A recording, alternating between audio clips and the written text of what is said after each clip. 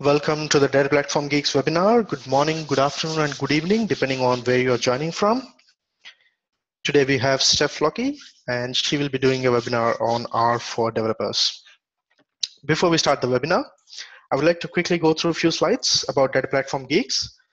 It's a subsidiary and a community initiative by eDominer Solutions, who also have companies like SQL Maestros, People India, who specialize in training on SQL Server and other technologies, pan India and also online.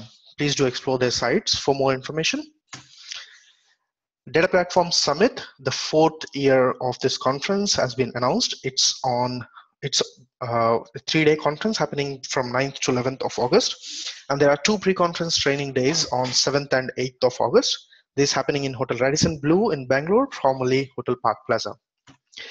This is a three-day pure learning event. There's no marketing involved. And we have two pre-conference training days, which is a full day event on a deep technical topic. We have seven tracks at this conference, more than 100 sessions and more than 50 speakers, worldwide renowned speakers and uh, product team members from Microsoft Redmond, MVPs, MCMs, you name them, they are there at this conference. So it will be a good opportunity for you to network with them and learn from the experts and also interact with them and learn from your peers. Please visit dps10.com for more information on this uh, about this conference. Let me quickly introduce you to the core team of Data Platform Geeks. Amit Bansal, he's the founder and president right now. I'm myself, I'm Manohar Punna, I'm the vice president of Data Platform Geeks. Avnish Panchal, Prince Rastogi, Sandeep Pani, and Surbhi Agarwal hold various uh, positions in the core team and handle handle all the operations that are related to to this community. eDominer teams are the backbone of this community. They help us run these events and uh, bring these events to the community. A special thanks to Microsoft who has been a great support and help us run this community and build this community. If you are attending this webinar today, you would have already registered on dataplatformgeeks.com. This is completely free and you get access to all the free content on the site. Like we have uh, blogs, free videos, labs and magazines. And you can also share what you want to see on this site and we will be able to try and get some resources onto the site. And also join the largest SQL group on Facebook. It's the SQL Geeks, the Data Platform Geeks official Facebook group, and also the LinkedIn group where you can post your questions and you get expert advice on your questions. You can also answer some questions if you're really interested. Without any further delay, I would like to hand over to our speaker today. Over to you, Steph.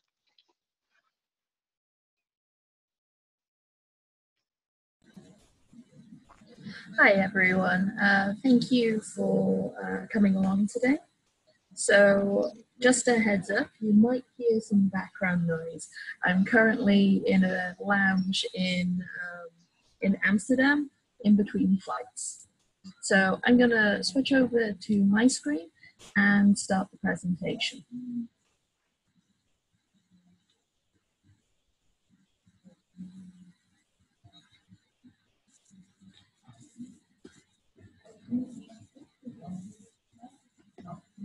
Okay, so today's talk is for developers.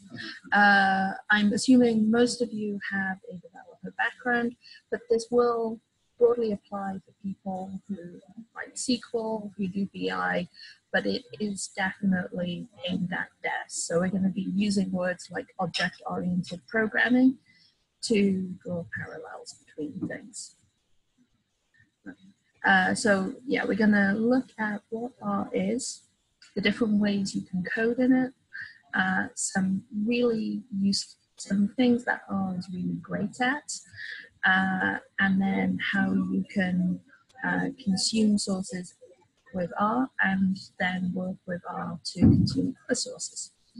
Uh, so hopefully it'll give you a broad overview of where and when and how you might use R it's not going to teach you R, but it'll give you the right places to go to learn more and drill into the specific areas that you need. Okay, so uh, first thing we're going to do is we're going to look at the different ways you can code in the R language. So R is an open source uh, package, uh, programming language. It's built to be initially backwards compatible with a language called S, which is about 40, 50 years old now. Uh, so some of the original code is pretty quirky, but there's been a lot of recent developments in the last five years that add things like functional programming to vastly improve the interface to make uh, uh, much easier to learn and utilize. Uh, one of the key limitations that you'll need to think about with R is that it is an in-memory application by default. So uh, on my 16 gigabyte machine, I'm able to quite comfortably store and operate on about 40, 50 million rows, as long as the table isn't too wide. If you're needing to process a lot more data than that, then you might want to consider running on a server and or with the Microsoft machine learning server capabilities. So in terms of how you can code with R, so once you've opened up the executable, usually in R Studio or Visual Studio, and you write some code, there's some different ways you can write that code. By default, R is uh, set-based, so if you know how to write SQL and you get like column A times column B, uh, and you get one row per, um, one resulting row per row, you get the basics of how R is written. Uh, it is notionally object oriented by default, uh, and we'll see some of that, but there is uh, some much stronger object-oriented uh, libraries out there that help us do something closer to true OO programming. And an area that has made uh, huge inroads into the R community is functional programming.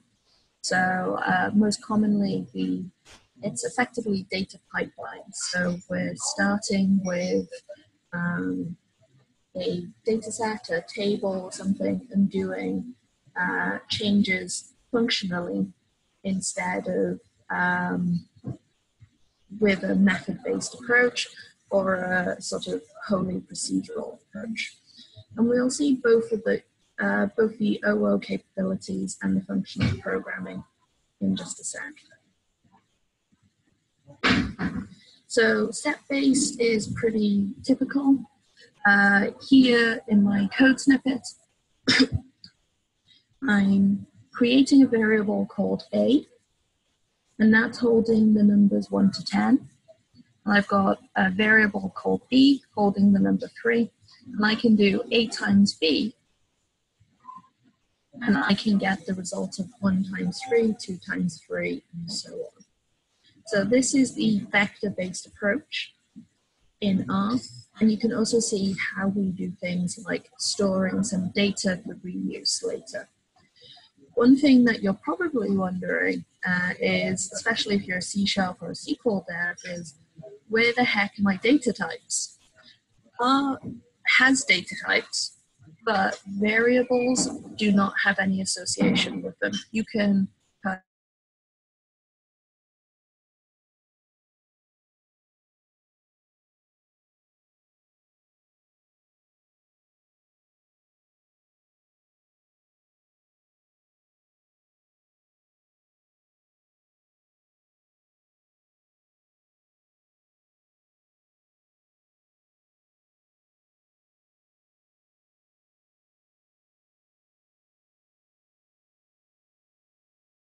backup.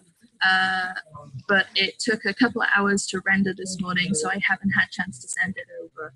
But like all good DBAs and data professionals, I have a backup. So if there, if this it carries on, you won't have lost the webinar. Yeah, we'll um, we'll continue for some more time.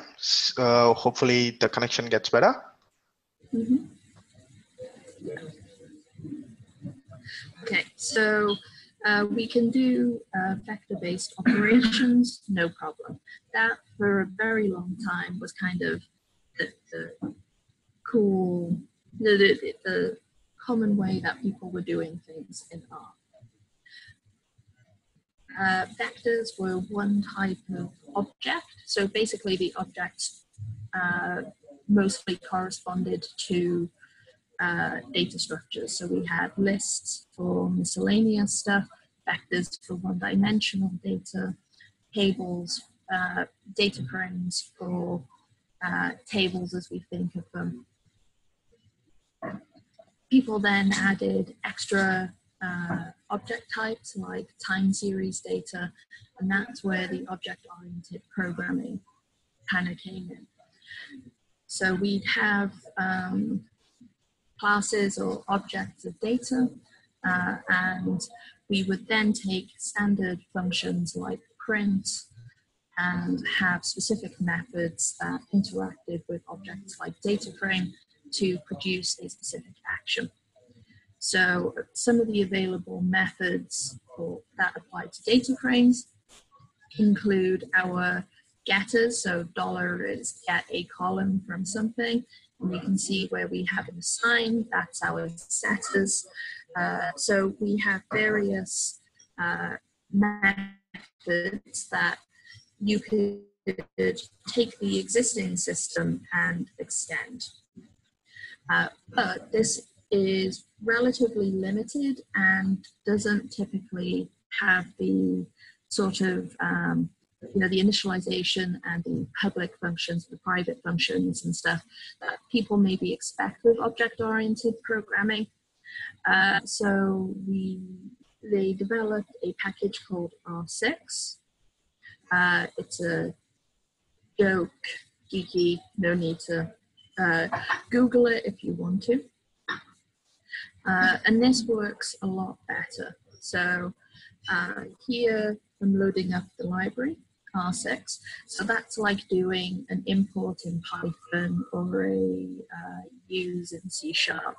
That's making the extra functionality available to us. And we're making a, we're storing a uh, object type of people uh, I was doing it with person, but I got some naming conflicts with an existing object. So it's people.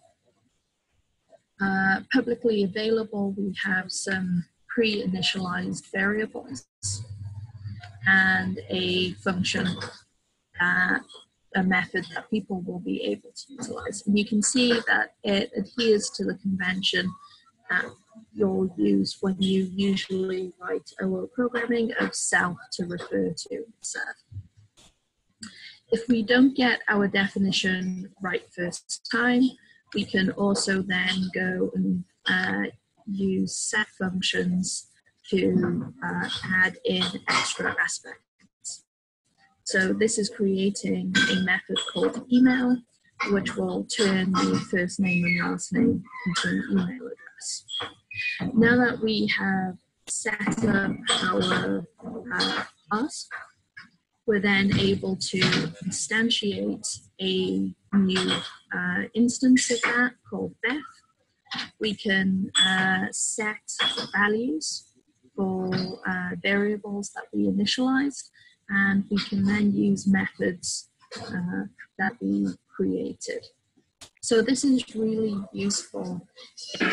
Uh, you're having to facilitate um, development by data scientists for something that's a bit robust. So this could be uh, things like doing loan modeling so that you can uh, get cash flows and things like that uh, as an API.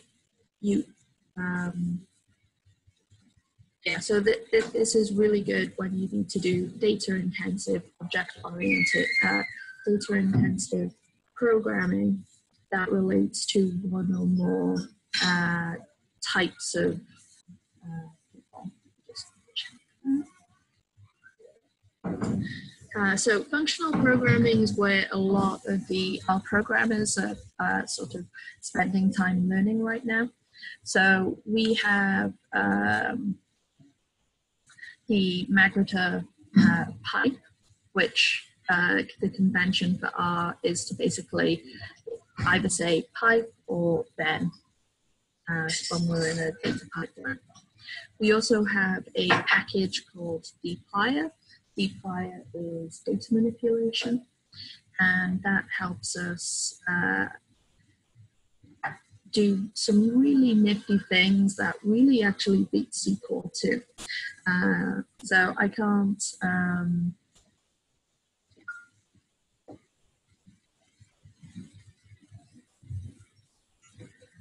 uh, I, am not going into it today, but if you want me back for a session on how R kicks SQL's I'm happy to do that. So in this, uh, typically called a data pipeline, we're starting with our iris dataset, which is a built-in dataset in R. There's usually, uh, there's about 30 of them, and they're really useful for learning how to use R and providing uh, minimum reproducible examples. So we take our iris data, then we apply a filter and we uh, say the species must not be equal to Setosa. Then we take the top 25 records based on sepal width and then we summarize our data. So these uh, data pipelines their functional programming in the context of what they do is they technically curry the function like filter so that the first argument is provided by the previous pipeline uh, row. Um, so we're able to get things in really readable ways that have greatly increased the uh, the comprehensibility, comprehensibility of uh, the data pipelines though they're not quite maybe what we'll often think about functional programming so I wanted to show another use case. The package purrr is to help us do effectively recursion type things. So here we're starting off with a vector, so uh, two words, Setosa and Versicolor, and these could represent email addresses or accounts or customers or uh, different data sets that you've loaded up. And we're then able to uh, apply functions to each value. So R by default is set base. So it would try, if we, when we add a function, it tries to operate on the whole data set these map functions allow us to basically iterate without iterating through the um, original set of data. One of the nice things about it is that it also helps us start doing some type enforcement because it's wonderful and absolutely terrible that we that we're not working in a type safe manner.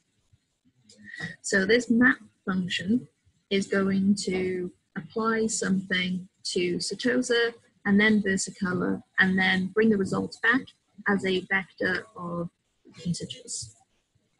And the function that we're doing here is a lambda function, so it doesn't exist outside the scope of this map statement.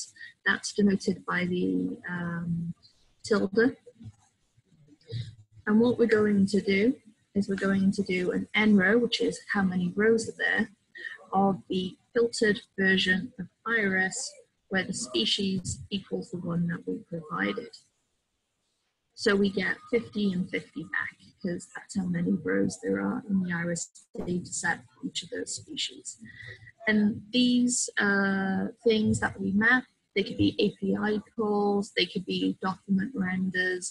We uh, we can parallelize them with a uh, package called furrr, uh, and it comes in very handy because now you don't really have to write complicated loops.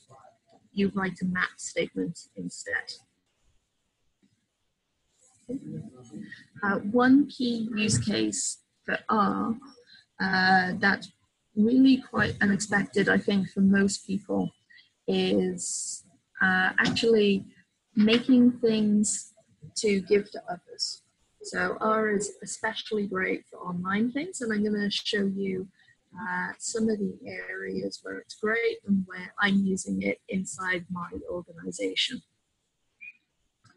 So the first thing is pages like this, uh, HTML with uh, maybe some JavaScript, essentially static. So we're able to do this with a package called R Markdown, and we often put our JavaScript things like leaflet maps or D3 uh, graphics things uh, embedded in them using a package called HTML widgets. So let's have a quick look at how this is constructed behind the scenes.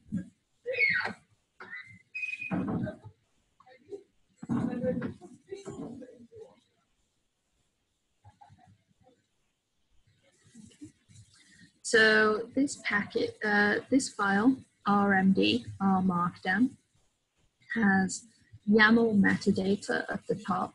This can include lots of complicated things like uh, what CSS to include, uh, whether to add tables of contents. Uh, you can even parameterize it to, to allow you to provide uh, different data sets and variables in it. We then have text and uh, it uses the fairly standard markdown syntax that you'll probably be used to with Stack Overflow. Uh, the bits where it gets nifty is in the after the pre backticks, which you might be used to for code blocks, where you would often put uh, the language to do syntax highlighting. If you put curly braces around it, R will try and execute that code. And it will execute that code for R, Python, SQL, C++, uh, Stan, and a few more languages. So when I'm talking about this R Markdown stuff, it doesn't just have to be R. We can use R to render things, but actually we can use all of the capabilities with multiple different languages. And it can be a different language every code chunk. Uh, so this will go away and uh, execute these and then print the results. Uh, if we have, if we wanted to show a graph, it will, uh, when we render it, it will include the graph in the HTML. And this makes it really simple to build uh, documents that are very data heavy without having to write lots of um, like JSON arrays to go into JavaScript charts and things. R can handle a lot of that for you because it finds a lot of JavaScript um, data visualization packages like uh, Highcharts, D3, um, Google Viz, uh, and then it has things like the uh, Vega Lite and stuff. So we're able to um, integrate lots of really cool things into this. And then we have a render command that takes this and turns it into a document. And it turns it into the document specified up here or to the type that we provided. And uh, it can actually go to HTML, PDF, Word, PowerPoint, um, so we have lots of flexibility there as to what we can produce. Uh, we can make books. So this is pretty cool. I have, um, I've now written two books in R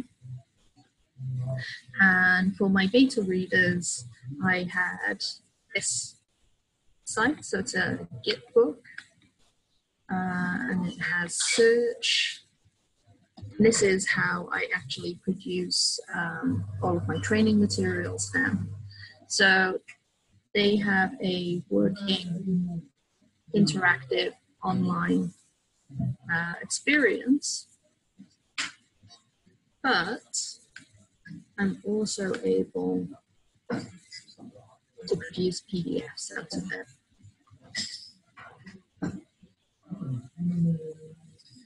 So, uh, for getting the book published on Amazon, I needed a PDF to print and I needed a .mobi for Kindle. And I'm able to produce all of these things with the same R Markdown files, but different uh, render outputs. And all of this, uh, including we've got uh, visualizations,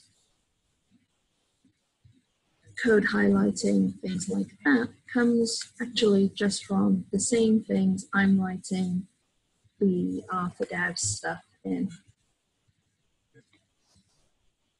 So we've got code chunks with some options to configure them and Markdown. And to build them and to build all the different versions is um, these different render book steps. So we're able to download to go to EPUB or go to online or go to PDF or even to Word. Uh, so this is a great way of doing um, long materials that you're going to publish on the web or to PDF uh, because the code is right there. You never end up with a graphic that's out of date because you can always just rerun something. So I would totally recommend this if you're having to do anything remotely like publishing.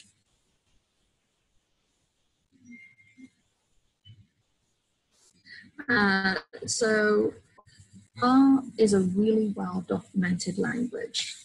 We have um, really great help files and some sites which compile these things.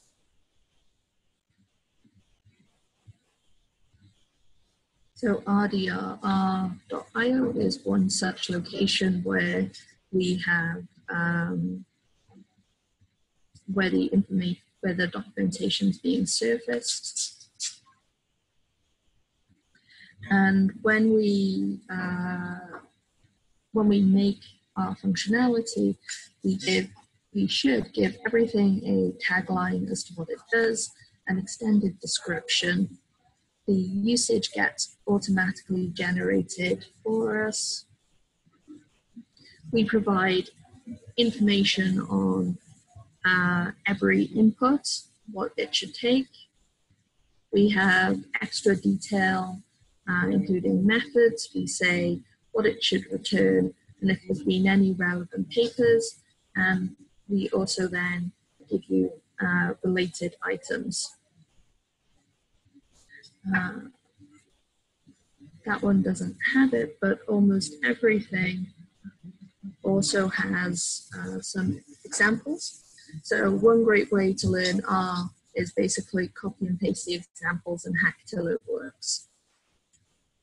And this website allows you to also uh, step in, make some changes, and run some code. So you don't even have to have R on your machine to start learning how to, how to write R.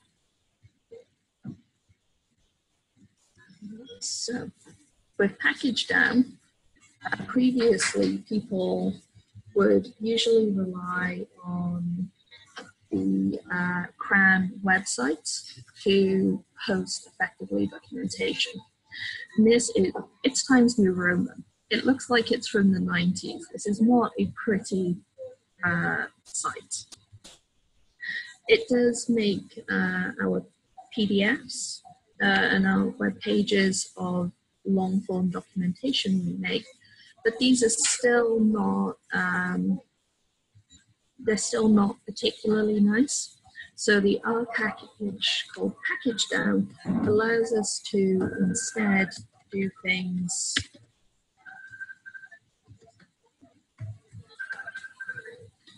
uh, like this for our packages.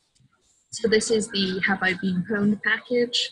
Uh, we get a nice page, references, articles, and all of this, you can see here, programmatically generates from our code and our documentation.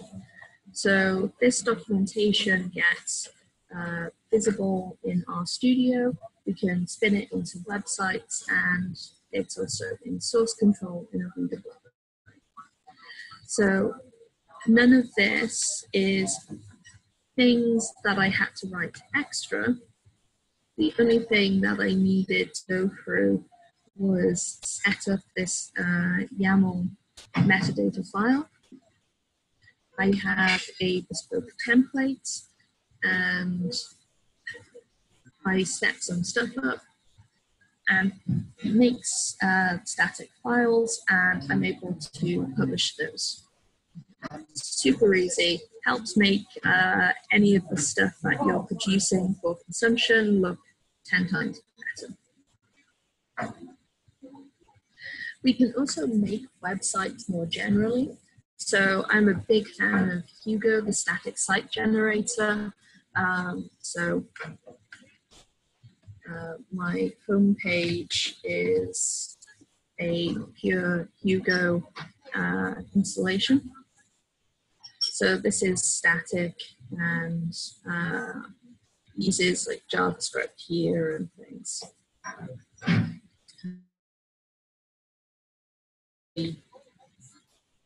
and so on.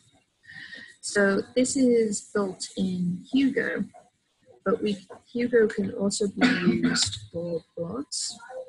And uh, we have an R package called Blogdown that helps us take these RMDs, which are uh, intended to be very data driven, and convert them into a blog site.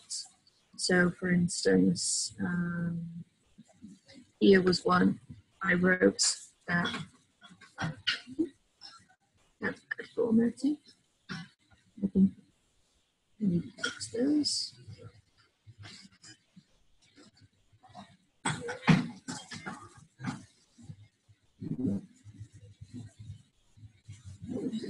I think not everything's loading up properly right now.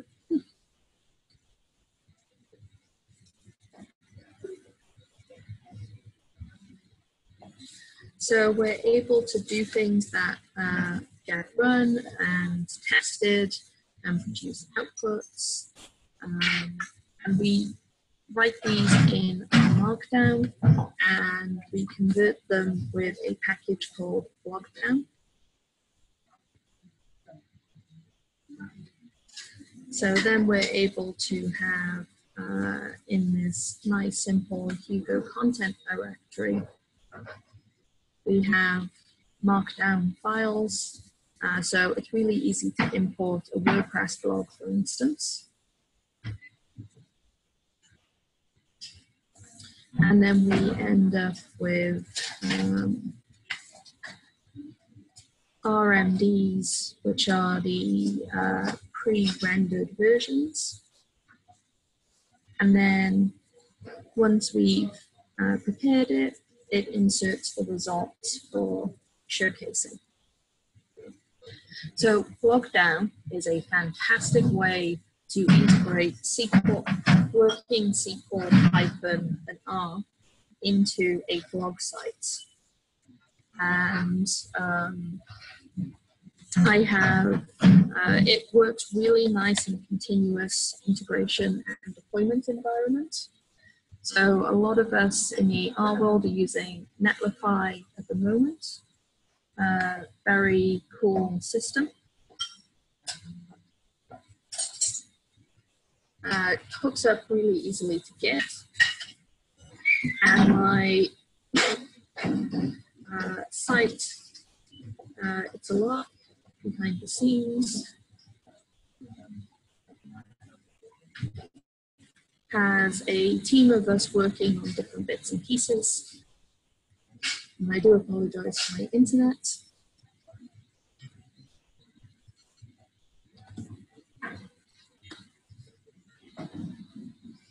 Uh, typical deployments are 47 seconds. So my entire website, which includes uh, a whole bunch of areas, I'll show you the build script.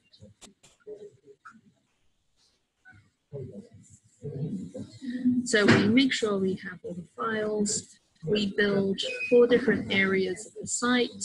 We include pkgdown documents. So we have effectively four Blogdown areas, four pkgdown areas. We do some reveal.js for slides, and we'll, I'll show you this reveal.js stuff shortly. Uh, we, we're also hosting those.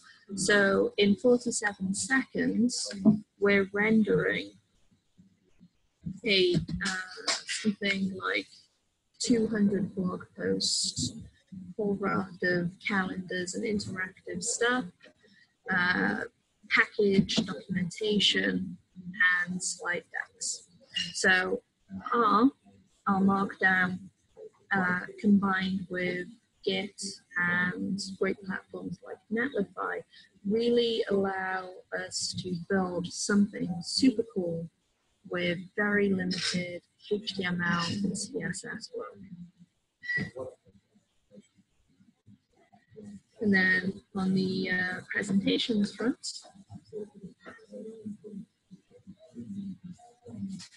these again are very, very similar to R Markdown uh, that we've seen today.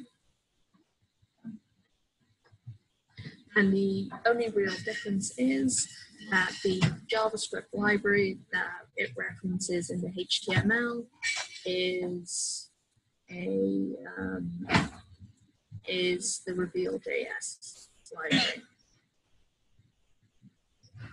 And uh, now you never ever need to worry about bullet points in a PowerPoint presentation because Markdown will sort that for you.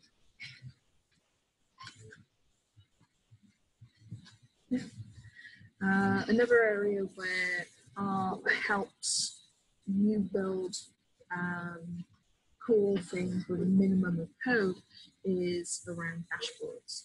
So the package flexdashboard allows us to do um, uh, basically simple job, uh, very good looking uh, HTML, CSS, and JavaScript dashboards. And we can incorporate Shiny, which is another R package for doing uh, server-side R programming. Uh, so here is one app that I built to remind myself not to go to Starbucks too often. Uh, and what would happen if instead of frittering my money away on venti frappes, what I'd get in my pension pot at the end of uh, retire uh, when I retire. So this has uh, some nice sliders to help people um, adjust the data. And then we get values like a number of copies, the amount invested, and you probably recognize the font or some icons and we've got charts and things. And now people can say, okay, well, I buy 10 copies or 12 copies. So I buy copies, two copies, six days a week. I'd be uh, missing out on 200 grand if I did that. So uh, this uses very little code.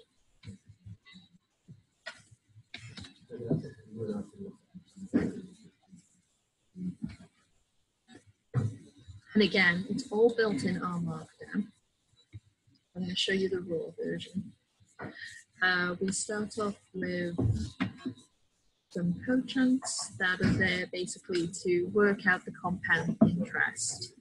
Uh, and you can see we've got a series of uh, pipelines transforming stuff, uh, including uh, some things to uh, cross product them. Creating those sliders is, uh, and these are excessively spread out, but it's just a function called slider input. How I tell R to take those inputs is I have these reactive expressions which say, go do the coffee costs calculation with the values from the sliders. And then I split that up into some different sections. Now that I have uh, some um, calculated data sets based on the input. So those could be going away, getting data from a database or uh, talking to an API or whatever. I then have my boxes, uh, very simple. They're just this, essentially this value box command where I have a value, a word, and a font or some icon. And then I have some plots which are mostly formatting here. Uh, and so I'm able to do all of that in very few lines of code, 188 lines of code in very heavily spread out to build this dashboard. I didn't have to do any JavaScript, no, C, uh, no CSS, no HTML. It's so cool. Even if you just consider this for prototyping, it's really worth picking up.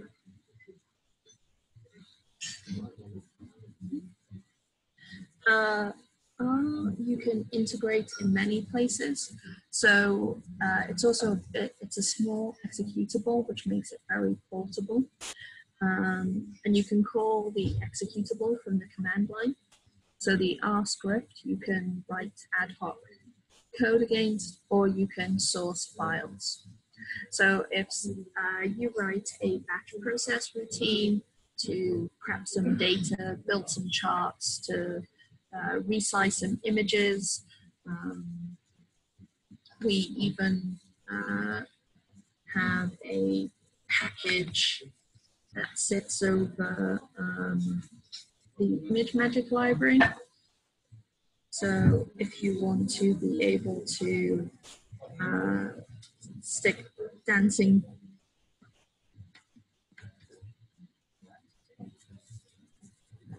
uh,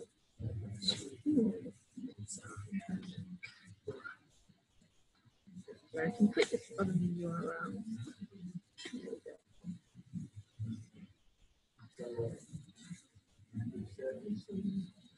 So we're able to um, process images and work with things like Frick.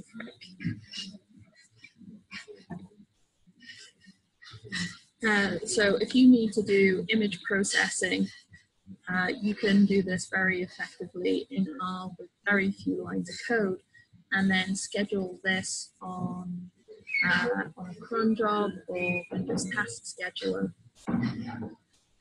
to be able to do um, all sorts of cool things, including making GIFs, which is what we do a lot in our, we like our GIFs and our buttons. So we can call it from the command line. Uh, another quite useful tool uh, especially for us Microsoft people, is in SQL Server 2016 uh, and later, we're actually able to embed R in our store procedures. So we can uh, then just write exec special custom fun, special store procedure to go away and do some R processing. So uh, here is a sample script. Uh, SP execute external script is your friend. That's the uh, main workhorse. Uh, if you only have 2016, I think you can still only write R in here, but if you have 2017, you can write Python. You have a script where you can uh, write your R code. If you have a lot of R code, and you uh, there's a package called SQL utils that helps make this SP execute external script statement for you. You can send it data if you want to, and then you can give an optional specification as to what your data set should look like on the way back. that's useful for when you're going to otherwise get some potential issues, like if the data is stored in datetime or datetime 2, and you might not get uh, the same date type back reliably enough from your store procedure. So you can embed R to do cool things like generate graphs, build models, um, do uh, deep learning, neural nets, and things like that. And you can actually have that executable as a stored procedure from your application. You can have it uh, score data to say like how likely uh, is this person to uh, leave the uh, you know churn as the data loads up on the call center screen. So we can use this to integrate um, whole lot of intelligence into our systems, still just do it through a SQL Server call. Uh, super handy because that's just a really min, a really minimal impact on your infrastructure. You can also turn R into an API. And there's a few different options here. So Plumber is kind of the new kid on the block, very well supported by RStudio. Um, and it's pretty easy to turn things into functions. OpenCPU is uh, very battle tested, uh, very easy to utilize, and has some nifty benefits like it has a JS library so that you can then actually uh, call R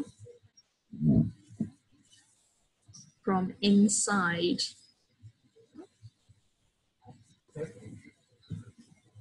you can call R from inside JavaScript.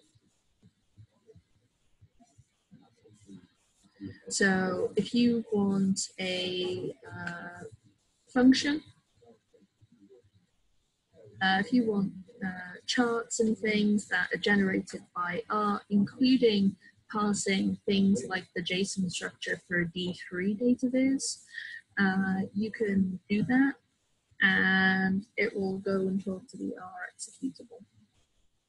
This is uh, really powerful uh, useful tools for us because uh, JavaScript maths and things leaves a little bit to be desired.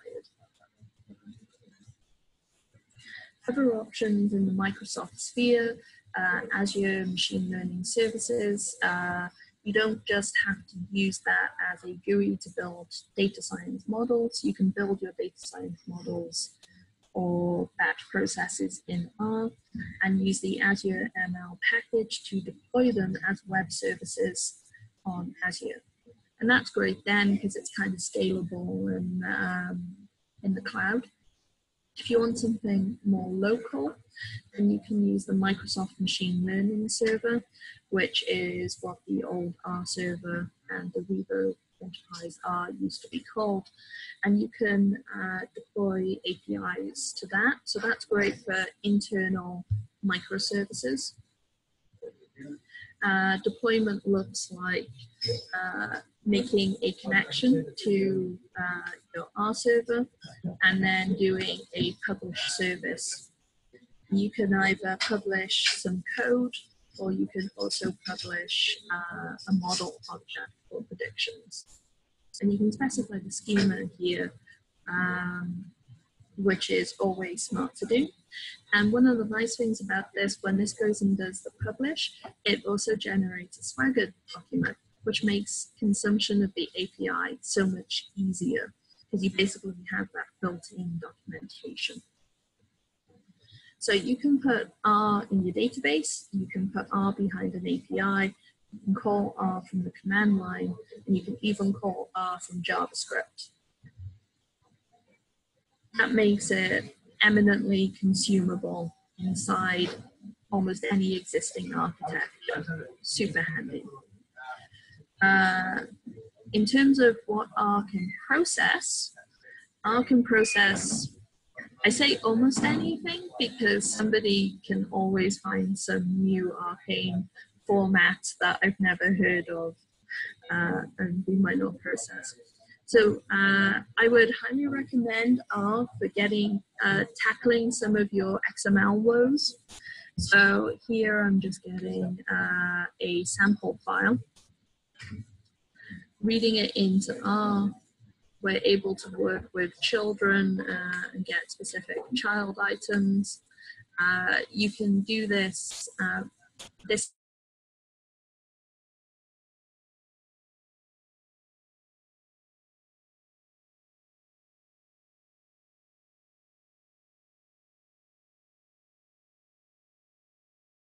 a few lines of code, give us just a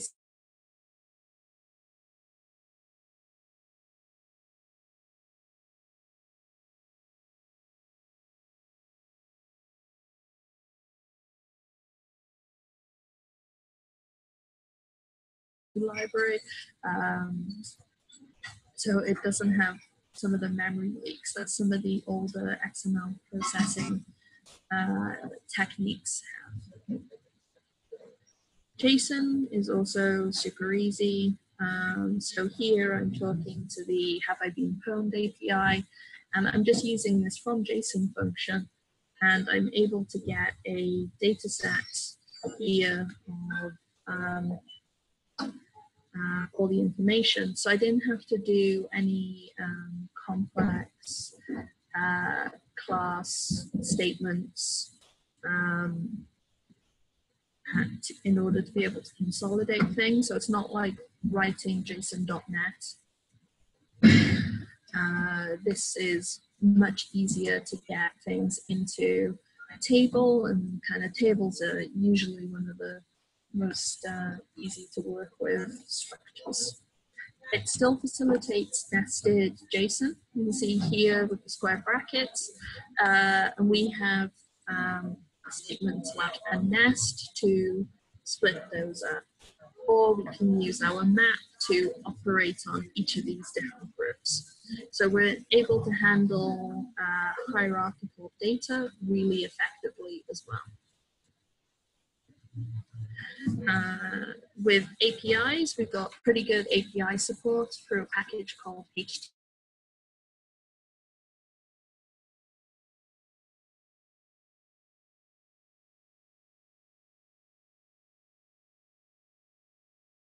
Usually you have to think about rate limiting. So uh, it's worth noting the rate limiter package. So you'll have uh, something which does your API call.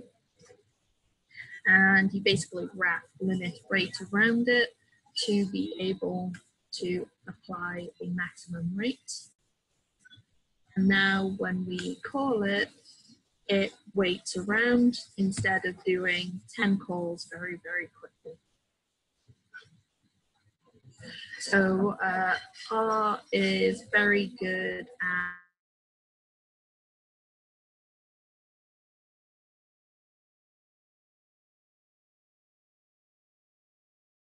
way of doing um, data transfer. Uh, also, as well as consuming um, lots of data sources, it can actually use uh, a number of other languages as working engines. So for instance, the V8 uh, package uh, allows us to talk to So um, not sure where that here.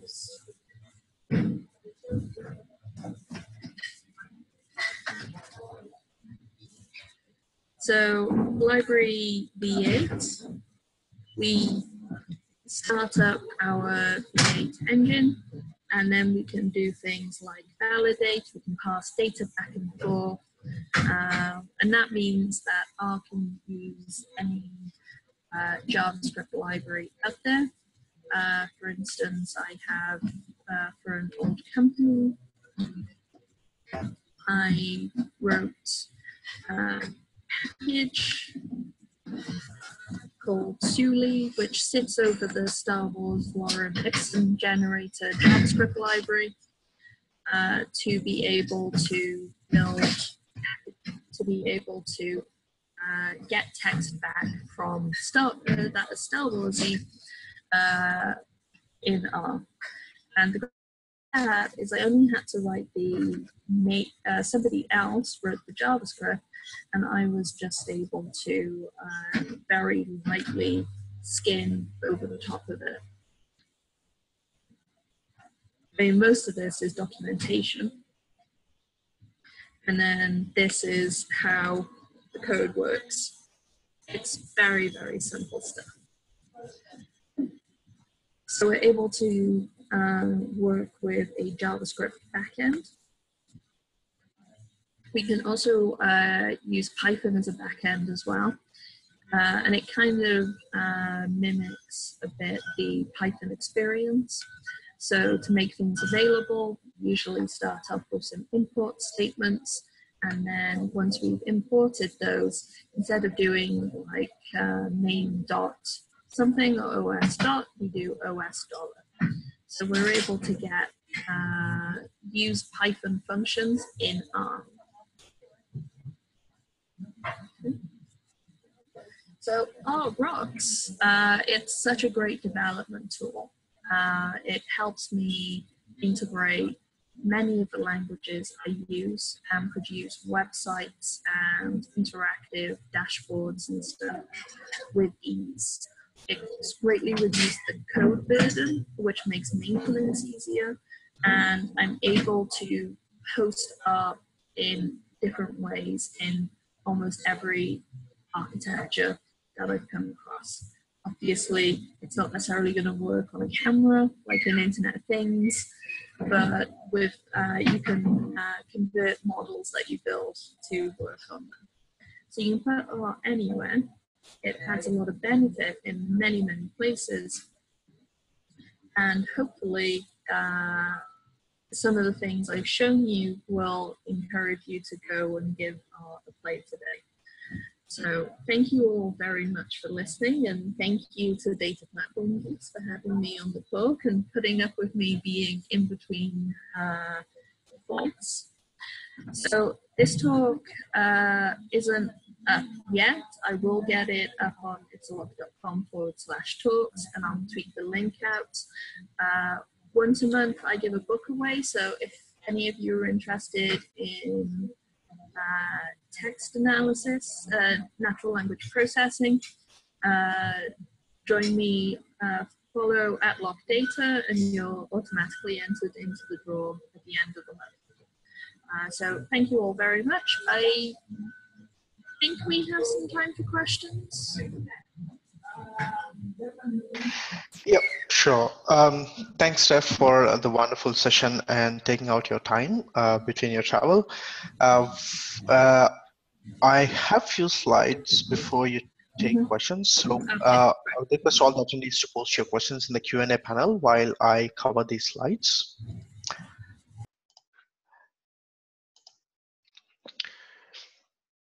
All right, so uh, so I, I'll just quickly try walk, I want to walk you through the pre-conference training days that are available at the conference this year.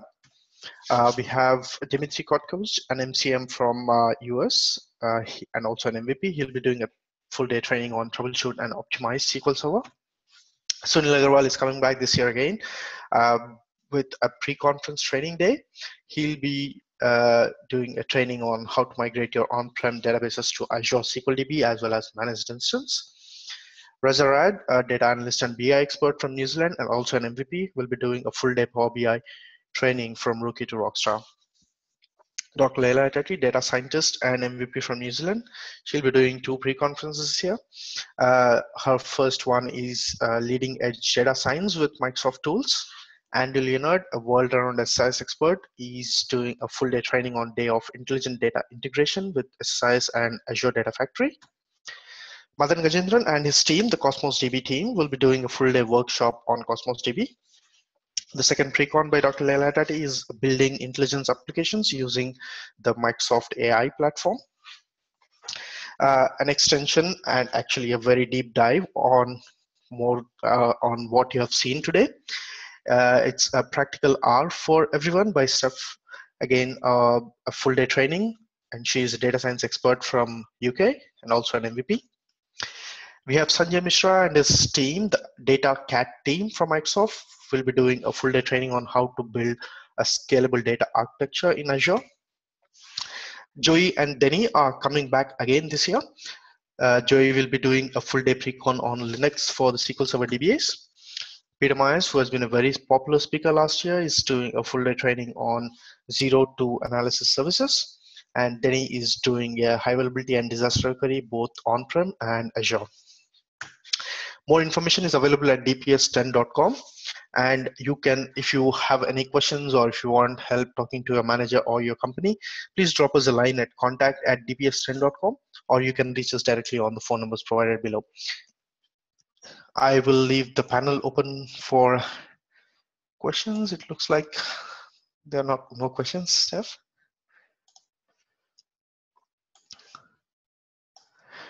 All right um, I've I would encourage if you have any further questions, you can directly reach out to Steph. Uh, we'll be sharing the recording of this webinar, also other resources which Steph will, Steph will be providing. And uh,